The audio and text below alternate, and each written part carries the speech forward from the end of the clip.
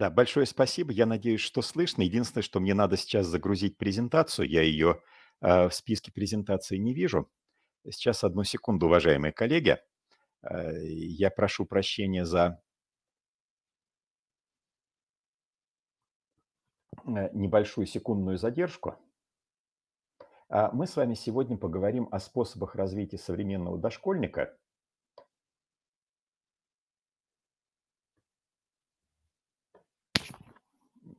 И э, мы, конечно же, уложимся вовремя. Я еще раз прошу прощения. Ага, вот все появилось. Большое спасибо. У меня просто компьютер с небольшими сбоями работает. Итак, коллеги, давайте мы с вами поговорим о способах развития современного дошкольника через книгу. Поговорим о том, как, когда и что может помочь. Когда мы говорим о современном дошкольнике, важно понять, как дошкольники отличаются э, от, от тех детей, которые были еще лет 10-15 назад. Я когда готовил эту презентацию, я прочитал э, определенный список статей по психологии, по методике, э, и оказывается, что у современных дошкольников совершенно четко прослеживается ряд особенностей. Не все эти особенности являются проблемами, кое-где это сильные стороны, которые можно использовать. Э, во-первых, психологи отмечают недостаточное развитие коммуникационной сферы. Почему так происходит? Современные дошкольники гораздо меньше общаются, чем, их, э, чем дошкольники еще буквально 15 лет назад. Во-первых, меньше общения с родителями происходит, потому что родители вынуждены э, трудиться, зарабатывать деньги, потом они устают, и они не в состоянии общаться с детьми столько, сколько э, следовало бы для хорошего развития ребенка. Во многих семьях у детей нет ни братьев, ни сестер, ребенок является единственным. И еще одна из проблем – это гаджеты, когда ребенок проводит время в виртуальном общении, в виртуальных играх, и, соответственно, на коммуникацию, на развитие коммуникационной сферы у ребенка остается мало силы времени. Но при этом у детей гораздо выше информированность, потому что они смотрят огромное количество мультфильмов, видео, они много путешествуют с родителями, гораздо больше, чем дошкольники еще 10-15 лет назад. А, но проблема в том возникает, что поскольку у детей информация все время дается очень наглядно и через видео, и через игры э, интерактивные, э, то дети опираются на предметно-конкретную информацию. И это ведет к снижению воображения, как отмечают психологи, и все чаще к комплексным задержкам речевого развития. Еще в, 1900, э, 2013 году автор одной статьи психологической которая вышла в Минске, ссылается на исследование, которое проходило в Пермском крае, и там отметили, что выросло на буквально полтора десятка процентов количество уч... дошкольников, у которых отмечались комплексные задержки в детском саду э, в речевом развитии, которым требовалась помощь логопеда. Соответственно, еще проблему создают родители иногда. Вместо того, чтобы развивать детей, они с обучения, э, с развития переносят фокус на раннее обучение. То есть дети получают готовые знания в готовой форме, вместо того, чтобы формировали действия. И поэтому появляются такие популярные названия курсов, как там «Юный Эйнштейн», а, готовы, «Готовимся к письму» и прочее, когда дети, в общем-то, еще не очень-то и готовы к этому делу. А, у детей отражаются э, сложности восприятия рифмованных текстов. А здесь проблема не только в том, что дети не поймут потом, что такое рифма, когда-нибудь они поймут, а в том, что дети не умеют, не привыкают к ритму. А ритм нужен в том числе и для ритмичной организации работы, то есть там организационные проблемы. Недоразвитие мелкой и крупной моторики. Постоянно дети с планшетами, и моторики ни мелкой, ни крупной развиваться некогда. И плюс еще отмечается своеобразие морально-этических норм. А, у детей проявляется рост тревожности, агрессии, они не умеют решать конфликты, и когда что-то не по им, э, не по ним, то дети начинают сразу плакать, рыдать и устраивать истерики. Я, коллеги, замечал такие вещи в общественных местах, я думаю, что и вы тоже с такими вещами встречались. Правда же? А, и э, предпочтение интерактивным играм дети еще отдают вместо того, чтобы играть а, со сверстниками, играть в сюжетные, в ролевые игры и так далее. Почему это проблема и что здесь может помочь? И при чем же здесь книги? А, книги помочь могут. Во-первых, определенный тип книг для развития эмоционально-нравственной сферы, так называемые терапевтические сказки. И я покажу вам примеры. А, книги могут помочь для развития восприятия на слух. Это рифмованные тексты, но не только стихи, а там может быть развивающий компонент. Помните, мы говорили о том, что вместо того, чтобы давать готовые знания, важно развивать определенные, формировать действия. А, книги для когнитивного и творческого развития. А, так, я вижу, коллеги, кто-то пишет пропалый видео и звук а у кого-то информация есть. Э, коллеги, э, видите, слышите, что у нас происходит? а, у кого-то есть, у кого-то появилось. Вы знаете, видимо, просто бывают проблемы со связью, может быть, на принима... у принимающей стороны, может быть, что-то теряется. А, но давайте вернемся к нашей теме. И книги могут помочь нам в когнитивном творческом развитии детей, и книги, которые помогают в социально-коммуникативном развитии. Но самый важный момент – эти книги должны быть понятны для молодых родителей. Если родитель не понимает, он эту книгу использовать не будет и ни к чему ребенка не приучит. А вот теперь давайте посмотрим на конкретные примеры, пожалуйста, хорошо? Для того, чтобы понять, что можно использовать. Одна из книг, она вышла буквально месяц назад, это книга, которая относится к определенному типу сказок. Это терапевтические сказки. Называется очень интересно «Самое приятное лекарство от самых неприятных проблем». Что это за сказки? Это как раз сказки, которые позволяют избавить детей от самых распространенных проблем. И там для родителей все довольно понятно. Указана тематика, с какой проблемой мы боремся. Указан возраст детей, для кого она предназначена, эта книга. Указаны, даются вопросы после текста для обсуждения с ребенком и полезные советы для родителей. Я сейчас покажу пример. И эта книга продолжает на самом деле традиции классической русской литературы. Помните, как сказка воспитывает, басня учит детей не лениться, быть вежливыми и так далее. Книга достаточно большая, 112 страниц, твердый переплет, но не тяжелая и очень красочно организована.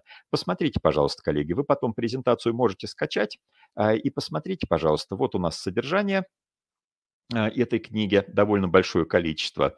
А, и давайте посмотрим. Издательство «Титул». Большое спасибо Екатерине Олеговне, которая написала, э, что это титул. И посмотрите, пожалуйста, сказки совсем небольшие. Вот в этой сказке, например, «Как лисенок детский сад пропустил», очень милая история, как лисенок проснулся и сказал «не хочу идти в сад». И потом он погулял, погулял дома, ему стало скучно, делать нечего. И на следующий день решил пойти в сад, потому что дома скучнее. А тут его друзья окружили, сказали, ой, а ты пропустил, а мы это делали, а мы то.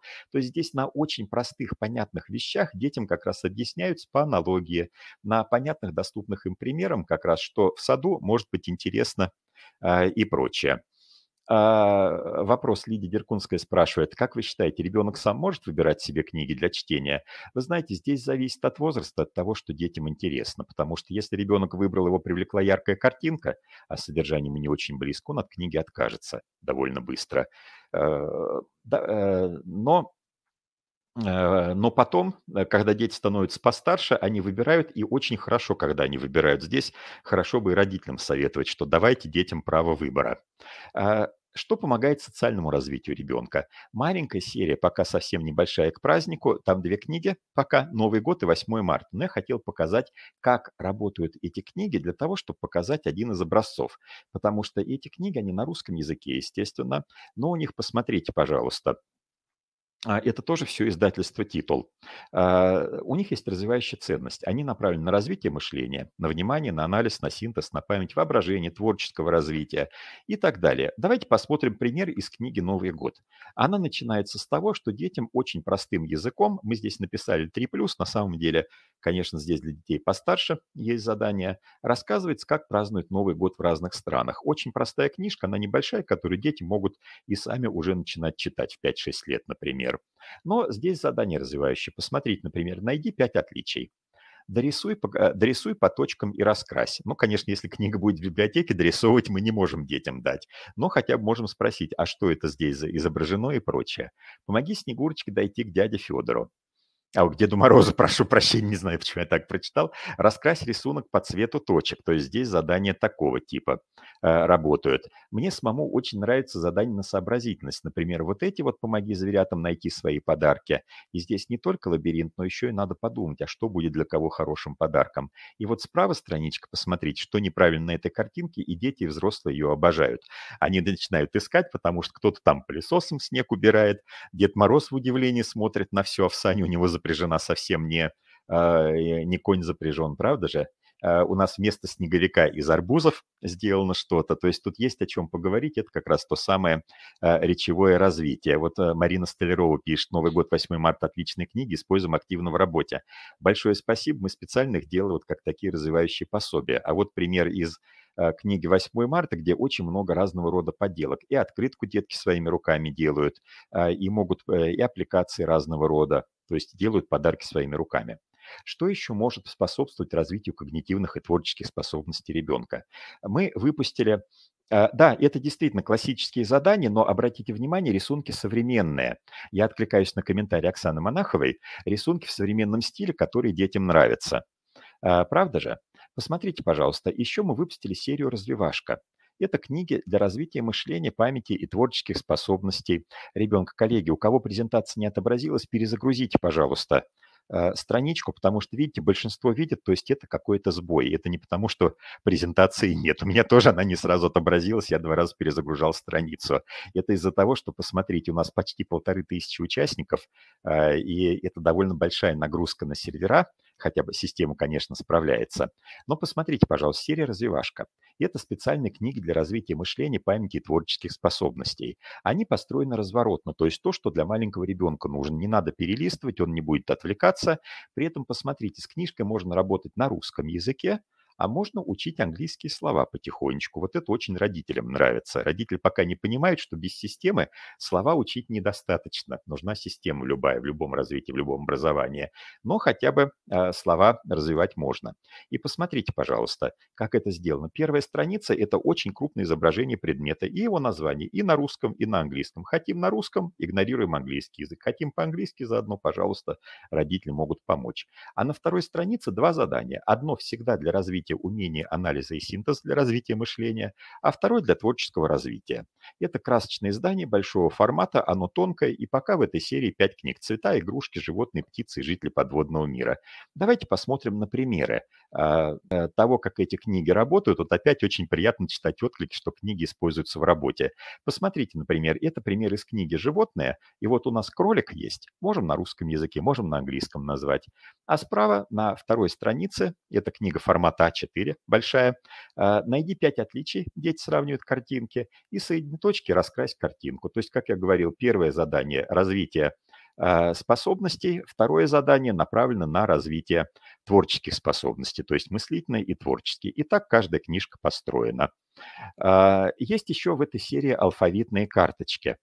Э, алфавитные карточки и русский язык, алфавитные карточки английский. Но эти карточки нужны не просто для того, чтобы мы могли букву показать и картинку. Это карточки для игр.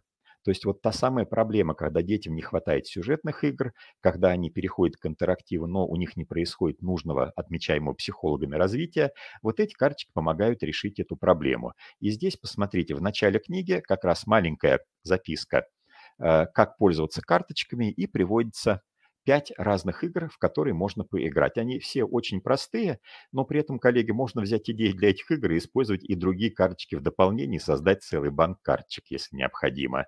И вот как выглядят эти картинки. Они довольно простые, тоже понятные, они довольно добрые, э, без агрессии, и это, в общем-то, отчасти и эстетическое развитие ребенка э, чтобы дети видели разные стороны жизни. Еще одна серия, тоже пять книг, стихи и загадки. Э, то самое восприятие рифмованных текстов. При этом посмотрите, пожалуйста, как это сделано. Вот коллеги пишут, что до сих пор ребенку распечатываю подобные игры или сами придумываем. Да, эти книги есть и в интернет-магазинах. А, я скажу, где их можно найти, но вы можете найти на, крупне... на всех крупнейших магазинах. И на Озоне, э, и на Лабиринте, и на Wildberries. Везде свои условия доставки можно найти довольно удобно все. А, серия книг «Стихи и загадки». И это стихи, Сначала идет стихотворение, которое вводит, оно на русском языке, но вводит одно английское слово. Это, знаете, полезно, когда, например, когда-то родители давно учили английский язык и забыли, но на уровне слова они прочитать могут, или там дедушка, бабушка могут помочь. Но посмотрите, как это работает. А, например, вот у нас слово а, стихи и загадки э, э, о животных, тут у нас есть и животные, и рыбы. И посмотрите, какое простое стихотворение. В речке плавает резвица, наша рыбка-озорница. В чешуе и с плавниками разыгралась с рыбаками. Всплеск, и вдруг такая тишь. Притаилась рыбка, fish, дается английское слово. А потом ребенку читается загадка, где просто ему надо повторить это слово. Ни животное, ни птица, плавать, ох уж мастерица. От чего-то молчаливо, может жить в воде тоскливо.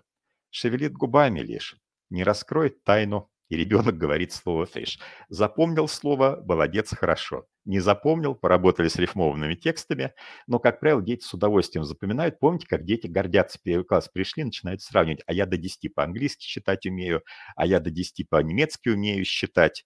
То есть вот такие простые вещи, но они работают довольно хорошо. Э, и вреда не причинят точно.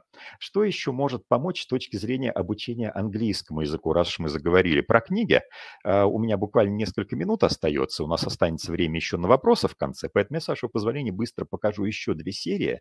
Одна – это развивающая серия Тинки Линки, а, имя автора иностранный вы видите перед собой, а вторая – это курс «12 шагов к английскому языку», развивающий его автор Радислав Петрович Миллерт, доктор педагогических наук, кандидат психологических наук, и Наталья Александровна Юшина. Для тех, кто только присоединяется, мы говорим о развитии дошкольников разными средствами и на русском языке, и с помощью э, раннего обучения иностранному языку. Но напомню, что прежде всего мы говорим о развитии.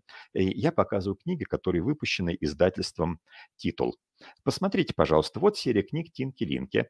В ней 15 книг начинается от очень простых цвета, что говорят животные, что говорят птицы, то есть то, с чем даже родители справятся. Ко всем есть бесплатное аудиоприложение. И заканчивается довольно сложными книгами «Приключения в городе» и так далее. Причем в каждой книге подробно расписан порядок изучения, что в каком порядке брать а, и прочее можно. Но посмотрите, пожалуйста, вот давайте мы с вами посмотрим вот на что. Мы все с вами изучали иностранные языки, правда же? Но если спросить, я иногда у взрослых так делаю, говорю, коллеги, кто из вас учил английский язык. Поднимают руки большинство в аудитории. Я говорю, а кто им сейчас пользуется? Поднимают руки считанные единицы. Я говорю, а кто хотел бы пользоваться? Э, мочь, поднимают руки гораздо больше людей. То есть вот есть такая проблема. А, и посмотрите, пожалуйста, какие книги мы выпустили. Если вы учили английский язык когда-то, вы сможете своим детям помочь. Например, книга «Лицо и тело». Но как она сделана? Это не плакат. Хотя каждая книга очень крупная, это все формат А4, красивые рисунки яркие. Посмотрите, пожалуйста, здесь есть сюжет, он очень-очень простой. Мама с утра позвала сына и дочку в ванную комнату и говорит, умойтесь, please wash yourselves. И у нас есть пальчиковая пропись, когда ребенок просто может поводить пальчиком по стрелочкам, как это слово пишется. Он еще даже может не понимать, что это за буквы, но просто он уже движение рукой, моторику начинает развивать. А, а дети начали играть. Они притащили свои игрушки в ванную комнату и им говорят, please wash yourselves. И вот тут начинается та самая сюжетно-ролевая игра, о которой говорят психологи, что детям ее очень не хватает, особенно в старшем дошкольном возрасте. А, но посмотрите как, например, девочка взяла медвежонка и говорит, Teddy bear, wash your eyes, please. Вымой свои глаза, и мы показываем жестами. А, а мальчик взял лисичку и говорит, э, ой, не лисичку, кошку, и говорит, cat, Wash your nose, please. И мы здесь там, где можно, стараемся имитировать движения, которые животное в жизни, вот как кошка мордочку умывает. То есть здесь мы еще и повторяем знания об окружающем мире. И вот так, пока мы все части тела не вымоем. А, либо, например, для более старшего дошкольного возраста а, книга «Безопасность на дорогах». Посмотрите, пожалуйста, она вроде бы на английском языке, мы какие-то слова запоминаем, как будет по-английски пешеходный переход, дорога, пешеход, правда же? Но здесь есть правила, например, переходи дорогу по переходу. И вот такие картинки в стиле мультфильмов, к которым дети привыкли. И все здесь у них получается, в общем-то, запоминать такие вещи. И моя самая любимая книга, может быть, потому что она уже для детей более зрелых, э, этого же старший дошкольный возраст, книга «Приключения в городе». Тут прямо сделано в виде комикса. Но давайте посмотрим на воспитательный характер, потому что, помните, мы говорили о том, что с эмоциональной сферой у детей бывают проблемы, они не уме... у них не хватает саморегуляции, они не умеют себя контролировать очень часто. А, да, вот э, большое спасибо. Елена Витальевна пишет «Респект иллюстраторам». Я горжусь тем, какие у нас художники работают с издательством «Титул», потому что книги приятно брать в руки. Причем, вы знаете, я потом покажу, смотрите, какие живые это рисунки. А здесь сюжет простой. К мальчику пришла нянька, подросток, дело происходит в Америке, мультики. Они смотрят мультики по телевизору, а дверь оставили приоткрытой. И щенок выбежал из двери и куда-то помчался.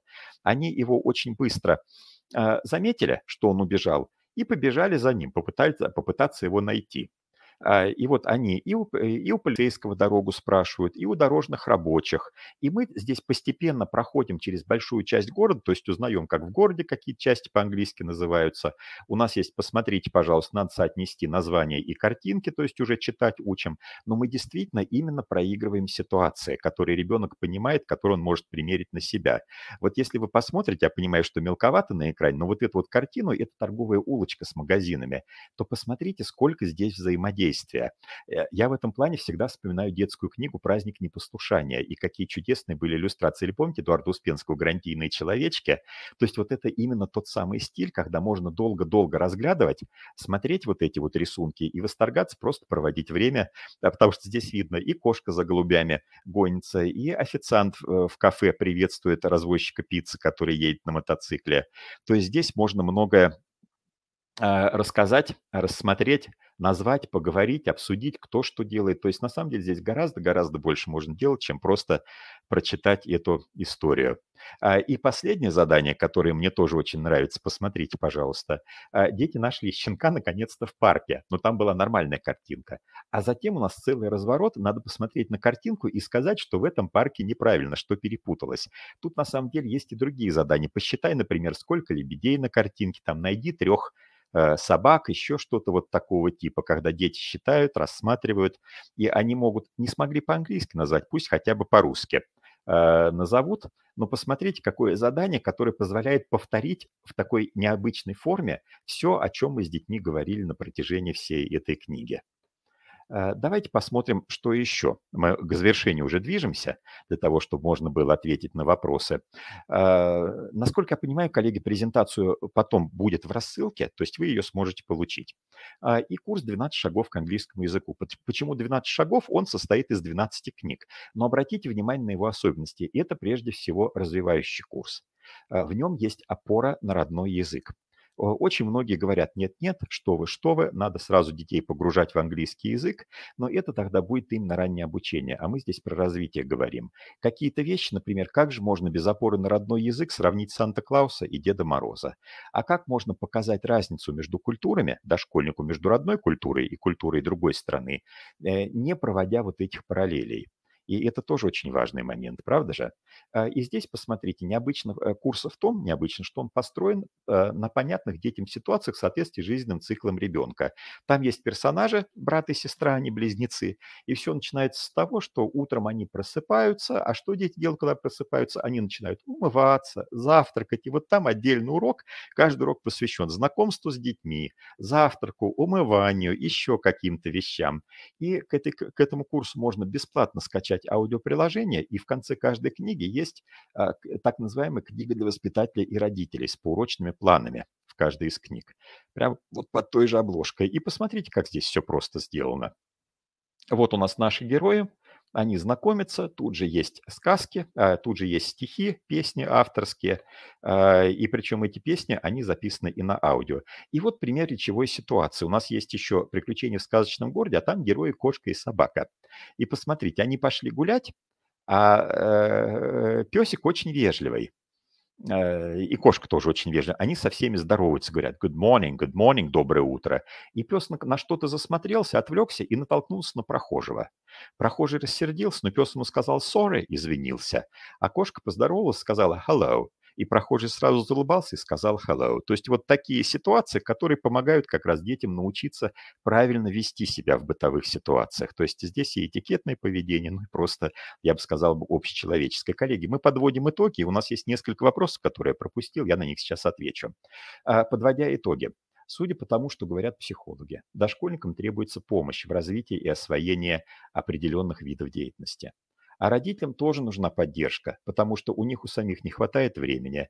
Ну и, честно говоря, те родители, у которых сейчас маленькие дети дошкольного возраста, они тоже уже испытывали эти проблемы в конце 90-х, в начале 2000-х годов, когда сами были детьми. Поэтому очень важно, чтобы э, книги носили развивающий характер чтобы они способствовали развитию познавательной сферы ребенка, развитию творческих способностей. Я поэтому сказал бы, что прежде всего для дошкольников должно быть развитие на первом месте, а обучение – это дополнительный эффект от развития. Если правильно организовано развитие, оно повлечет за собой обучение. Вот тогда уже можно говорить про зону ближайшего развития, теорию Выгодского и прочее. Конечно, книги должны быть визуально и информационно насыщенной. Это тоже очень важный момент. А, ну и, коллеги, а, какие книги мы рассматривали сегодня? А, первая книга была Татьяна Ниненко «Самое приятное лекарство от самых неприятных проблем». Это терапевтические сказки. Мы очень коротко посмотрели на серию книг к празднику Новый год и 8 марта, серию книг «Развивашка», это вот там, где большая картинка, на русском, на английском слово и развивающие задания. Алфавитные карточки – серия книг Юлии Геннадьевны Курбановой «Стихи и загадки», серия книг Arthur Frost Серия называется «Тинки-линки». И курс 12 шагов к английскому э, языку. Мы не говорили, но если у вас будет возможность, обратите внимание, не говорили, потому что это не для дошкольников. Титул выпускает еще и художественные книги на английском языке карманного формата, и мы сейчас готовимся выпустить еще ряд книг на русском языке, классических для дошкольного чтения, э, для внеклассного чтения. Они в мягком переплете, небольшие, очень удобные и стоят по 140 рублей примерно. То есть это совсем не такие страшные цены, правда же? Итак, коллеги, коллеги, за оставшиеся минуты две, за оставшиеся две минуты я отвечаю на вопросы, а перед вами на презентации посмотрите, пожалуйста, адреса электронной почты, номер телефонов и сайт, на котором можно позна- э, познакомиться с этими книгами подробнее, даже скачать страницы отдельные из них. А, итак, вопросы. Подскажите, пожалуйста, где и как можно приобрести такие книги? Вот перед вами на экране есть ответ. Я рад, что ответил быстро. Как вы думаете, такая литература может находиться в дошкольном образовании? Да, мы выпускали эту литературу именно э, как учебные пособия, вернее, учебно-развивающие, хотя там везде, конечно, стоит надпись для чтения взрослыми детям. Но здесь дело не в том, кто читает, а в том, какая задача ставится. Это развитие и это обучение. Вопрос, есть ли у издательства электронные книги для дошкольников и школьников младших классов? Некоторые некоторые книги есть. Кстати, те самые алфавитные карточки, про которые мы говорили, они продаются и в электронном виде, они что-то стоят рублей 50, по-моему. Можно на сайте englishteachers.ru в интернет-магазине купить, скачать и просто потом их распечатывать для того, чтобы в играх э, саму книжку не разрезать, а поработать с этими карточками. А, расскажите, пожалуйста, о команде издательства. Но здесь, знаете, здесь большой вопрос, я не успею за минуту рассказать. Я главный редактор, возглавляю отдел э, главного редактора, естественно. А, у нас работают дизайнеры хорошие, методисты, э, художники и прочее. А, есть на других языках французский, испанский? Пока нет, но подумываем о том, чтобы начать хотя бы с художественных книг. Пользуются ли популярностью книги среди дошкольных работников? Вы знаете, разные книги по-разному. А, дело в том, что часть наших книг посвящена обучению английскому языку. В садах просто не хватает таких специалистов, а частные сады, которые берут большие деньги за обучение, они говорят, вы знаете, у нас родители будут ругаться, если мы возьмем книжки российского издательства, которые стоят 100-150 рублей. Они скажут, что это такие дешевые книжки для моего ребенка. Я хочу самое дорогое. И берут книги, которые стоят 800-1500 рублей. Вы видели качество того, что я вам показывал, я думаю, что вы в сами состоянии решить, сильно ли они уступают по качеству книгам других издательств а, а, или не очень сильно. Что еще? А, Тереса Теодоровна пишет, спасибо, талантливый рассказчик, некоторые ваши советы передам нашим читателям, учителям. Спасибо большое. Я провожу вебинары на сайте englishteachers.ru как раз для учителей. Поэтому можно какую-то информацию и там найти. Ну что ж, коллеги, большое вам спасибо. Мое время истекло. Спасибо вам огромное. До свидания. Удачного вам дня.